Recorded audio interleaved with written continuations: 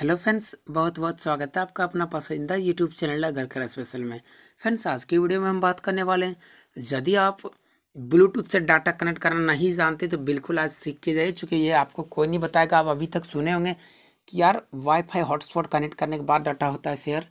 Otherwise USB से data share होता है, लेकिन ब्लूटूथ से डाटा शेयर करना शायद आप पहली बार सुन रहे होंगे। यदि आप पहले से जानते हो तो बहुत अच्छी बात है।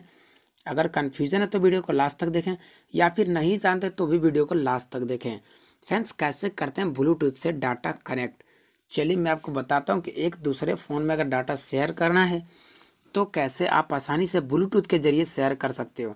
जैसे कभी कभार क्या होता है टैथरिंग काम नहीं करता है यदि हॉटस्पॉट का तो परेशान हो जाता है हम लोग यार, कुछ और उपाय होता है, हमको भी डाटा शेयर करना बहुत ज़रूरी है, ऐसा कुछ फिर परेशानी हो जाती है। लेकिन मैं आपको बताऊँगा एक अच्छा ट्रिक सही ट्रिक्स जो आपको बहुत पसंद आएगा। फ्रेंड्स, अगर मेरे चैनल पर नए हैं तो अभी तक सब्सक्राइब नहीं किए, जल्दी से सब्सक्राइब कर लें और सब्सक्राइब करने के बाद बेल आइकन को प्रेस कर लें ताकि हर नोटिफिकेशन मिले आप तक। चलिए फ्रेंड्स, क्या करना है मैं आपको बताता हूँ।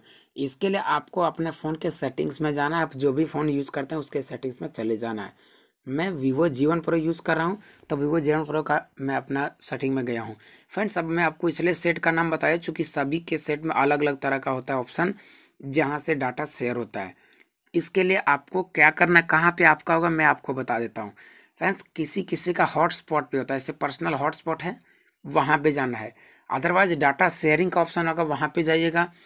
या फिर कनेक्शन सेटिंग में जाइएगा, वहाँ से डाटा शेयरिंग का ऑप्शन होता है, वहाँ पे जाइएगा। यही तीन चार किस्म का होता है। ध्यान रखिए, किसमें किसमें बोले हम? किसी किसी का हॉटस्पॉट में, किसी किसी का डाटा शेयरिंग डायरेक्ट ऑप्शन रहता है।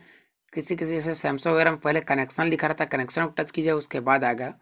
डाटा शेयरिंग तो यहाँ पे मेरा पर्सनल हॉटस्पॉट है तो मैं इस पे जाता हूँ। आपको इस पे चल जाना है। अब यहाँ पे देख सकते हैं आप वाईफाई हॉटस्पॉट होता है, जो हम सभी लोग जानते हैं, उससे डाटा शेयर करते हैं। लेकिन ये जो है, डाटा शेयर करने का तरीका है, यदि हॉटस्पॉट से करेंगे वाईफाई से तब। लेकिन मैं आपको किससे बताने जा रहा हूँ? ब्लूटूथ से। बिल्कुल सही सुने ब्लूटूथ से। इसके लिए आपको सबसे नीचे देखिए अदर शेयरिंग मोड है, यहाँ पे क्लिक करना है। चलिए मैं इसको क्लिक कर देता हूँ। उसके बाद यहाँ पे देखिए share phone network via Bluetooth यानी ब्लूटूथ के ज़रिए अपने फ़ोन नेटवर्क को शेयर करें। ये कोई अदर एप्लीकेशन डाउनलोड करने की ज़रूरत नहीं है, मैं आपको सेटिंग्स में दिखा रहा हूँ डायरेक्ट और हर डिवाइस में लगभग अब ये देने लगा है सिस्टम अगर आपका बहुत ओल्ड डिवाइस है तो नहीं बता सकते बट लगभग हर नई डिवाइस में अभी आने लगा है कि आपका नेटवर्क जो है सॉरी आपका डाटा जो है वो अच्छी तरह से ब्लूटूथ के ज़रिए शेयर हो जाता है। इसके लिए आपको क्या करना है आप ध्यान दीजिए, यहाँ पे आपको वन कर लेना है। जैसे वन करते हैं ब्लूटूथ तो आपका वन रहेगा वन नहीं तो वन हो जाएगा इसको करने के बाद। अब आपको शेयर कैसे करना है, मैं आपको बताता हूँ। फ्रेंड्स इसके बाद वीडियो पे कुछ खास इफ़ेक्ट नहीं होने वाला है। सिर्फ़ ये वाइट वाइट रहेगा डिस्प्ले लेकिन मेरी बातों को ध्यान दीजिएगा, यदि आपको शेयर करना है ब्लूटूथ से डाटा तो। तो फ्रेंड्स इसके लिए आप जैसा पहले ब्लूटूथ में किसी फ़ोटो को भेजते थे, या फिर कोई गाना सब कुछ लिया दिया करते थे पहले शेयर किया करते थे रिसीव किया करते थे तो पहले हम लोग ब्लूटूथ को वन करके उसको पेयर करना पड़ता था। पेयर करना यानी ब्लूटूथ से सर्च करता था, डिवाइस को, कौन सा डिवाइस है अगल बगल डिवाइस का नाम लिखता था, फिर हम लोग उससे कनेक्ट कर, पेयरिंग करके कनेक्ट करते थे। तो उसी तरह से सेम आपको पेयर करके कनेक्ट कर लेना, वो तो शायद आपको आता होगा, और वो भी नहीं आता होगा तो हमको पूछे, हम आपको बताएँगे, कमेंट करके हमको ज़रूर पूछिएगा, अगर परेशानी होती है तो।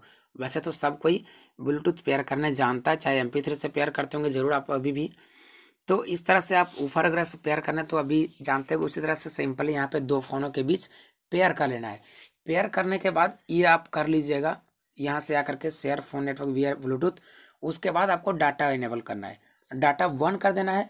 डाटा वन करने के बाद ब्लूटूथ के ज़रिए जिससे आप कनेक्ट हुए हैं, उसमें डाटा ऑटोमेटिक चल जाएगा। इसके लिए ना आपको अगले मोबाइल का वाईफाई ऑन करना होगा, ना ही हॉटस्पॉट ओनली ब्लूटूथ पेयर होने के बाद डाटा वन कर दीजिएगा। दूसरा मोबाइल में जिससे डाटा चलाना चाहते हैं और जिसमें कनेक्ट किए हुए आप ब्लूटूथ को, उसमें आपका आसानी से डाटा पहुँच जाएगा।